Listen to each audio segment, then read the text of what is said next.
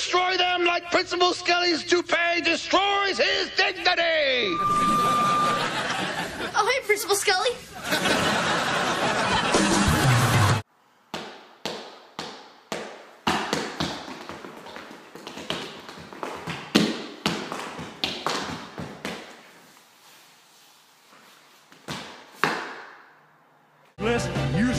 Can you love your car insurance?